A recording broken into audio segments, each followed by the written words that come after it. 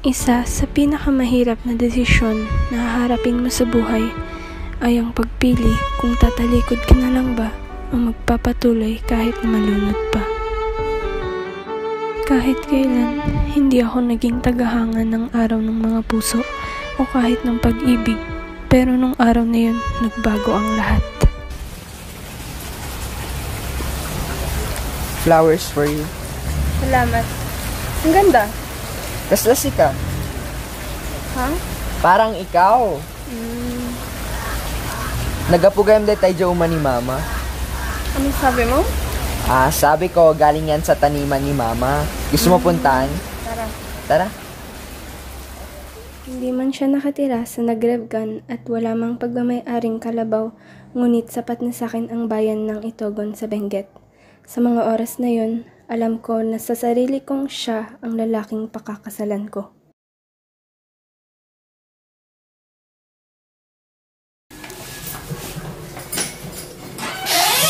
Ma!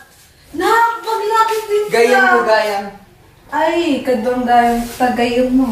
Sige. Juan, ma. Niya pa iba-expectado. Nakilala ko na ang mga magulang niya. Una kaming nagkita sa kasal ng panganay niyang kuya. Oh, anak, datay kan. Juan. Oh, intan, kita tadi manong Ay, day. sige. Magandang hapon po, ito. Diretsak sikan. Into nagapuam. Sinon kaliyo. Po? Saan kayo galing? Anong lingwahe niyo? Ah, taga Manila po ako. Pasensya na po, hindi pa po ako nakakaintindi ng Ilocano. Kakalipat ko lang po kasi ng Baguio. Sa mukha niya, alam kong mali ang sagot na binigay ko. Hindi nila ako tanggap at kilala lang bilang gayam ng anak nila. Hindi nila alam na daladala ko sa mga oras na iyon ang isang kalahating igurot sa sinapupunan ko. Sabi nila, opposite attracts, but little did they know that it also hurts. Na bakit ang pakasalan siya ay tila ba isang kasalanan? Hiningi namin ng permiso ng mga magulang niya, ngunit hindi sila pumayag dahil sa napakagandang rason nila. Ma, pa. Ikakasal na po kami. Haan nga mabalin, nakakaskasarpay lang ni manong mo. Gamin, ito'y iha, no ag kasati ag kabsati, agpatas nga taon, kat may sa relasyon kat madadaon. Alam kong hindi yun ang dahilan, sana sinabi nilang hindi pwede. Dahil mas bata siya sa akin at sampung taon ang tanda ko sa kanya. Dahil nag-aaral pa lang siya at isa ako sa naging guro niya. Dahil magpapari siya at inagaw ko siya sa Panginoon. Kaya tinawagan ko si Mama dahilan para magpadala siya ng sulat. Dear pala eh. Kung ang anak nyo ay babae, siguradong mamadaliin yung kasal. Sigurado, kaya minamadali niya akong ikasal ay dahil alam niyang makabubuti yun sa akin. Dahil aaminin ko, isa akong lesbian at hindi ko yon kinakahiya. Pero bakit ko pa kakasalan itong mas batang lalaking to? Simple, dahil mahal ko siya. Sabi nila, love sacrifices and yes, it do. Kaya ang pinili ko ay ang magpatuloy pa rin dahil alam ko sa sarili kong hindi ako lalangoy mag-isa na may magsisilbing salbabida ko sa gitna ng malalakas na hampas ng alon. Kahit ako ang gumastos sa lahat ng gastusin para sa kasal namin, masaya ako. Masaya ako dahil ilang paghihirap ang tiniis ko, maatim lang ang kurba sa aming mga labi. Ngunit hindi ko batid na maaari palang mabaliktad ang kurbang pinaghirapan ko. Hindi pa kami pwedeng magsama sa iisang bubong, kaya nagpatuloy akong nanirahan mag-isa sa isang apartment. Good. Kamusta ka ngayon? Okay lang yan. Magugustuhan ka rin nila, lalo na't mga anak ka. At tama nga siya dahil nung unang nanganak ako ay lumipat kami sa bahay ng asawa ko.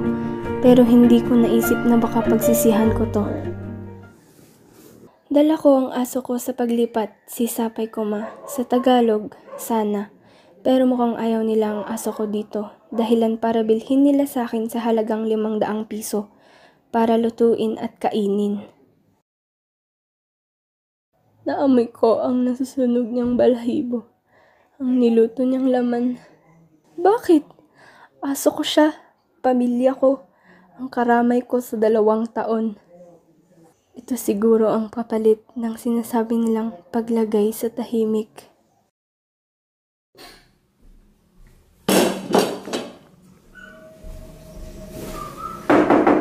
Mangan!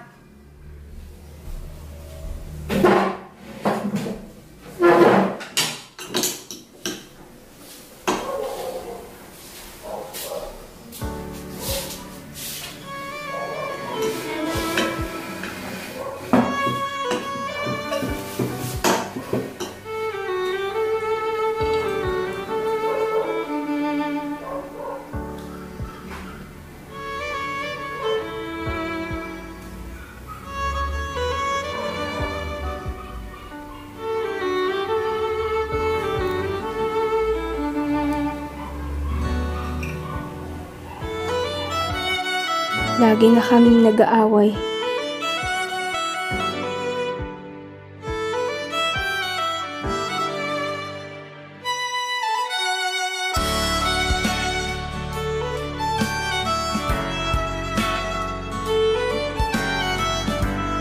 Nagpapasalamat akong dumating siya dahil siya ang nagsalba ng nasisira naming relasyon.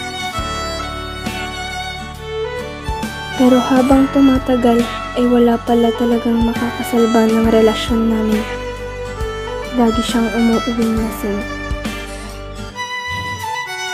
Saan ka na naman ang galing, ha? Nagkasiyahan lang naman kami sa taas. Nagkasiyahan? Oo! Walang sino man ang pwedeng maging masaya sa pamamahay na to. Eh sa kanila na nga lang ako naging masaya eh. Masaya? Oo! Bakit? Sa amin, hindi ka ba masaya? Hindi! Eh lagi ka namang bunganga ng bunganga pagka uwi ko eh. Sinasabi mo bang pinagsisisihan mong pinakasalan mo ko? Pag sinabi ko oo! Sa oras na ito, alam na namin ang dapat na gawin. Kung kailan natanggap na kami ng mga magulang niya, tsaka kami sumuko sa isa't isa. Tama nga siguro sila na malas ang sukob sa taon. Di ko na dapat pa siguro pinili. Akala ko ako ang Maria sa kanyang leon. Akala lang pala.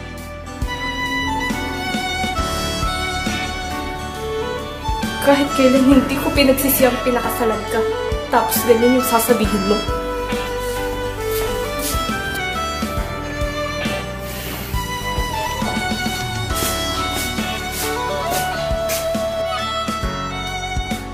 Sa ilang taon kong pagpapatuloy, hindi pala ako ang nangangailangan ng salbabida.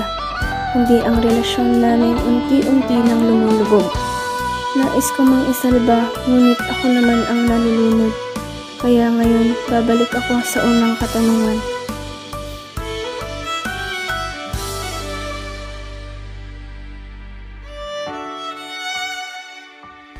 Ngayon, pipiliin kong tumalikod na lang kesa malunod pa dahil ang inaasahan kong salbabida ay siya pa palang hihil sa akin palubog.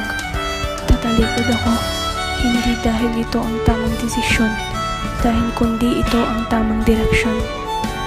It's not about happy ending, it's about the story. Knowing the story and putting an ending to it. Either happy or not, it's up to you. What matters is you're saved. At masaya kasama ng mga anak ko. Sa buhay, lahat tayo ay maraming sapay ko Mga sanang hanggang sana na lang. Dahil hinding hindi maibabalik ang oras. At minsan, ang pinakamagandang gawin ay ang humakbang paharap. Sapay ko ma, na imbag ti Biagyo ita.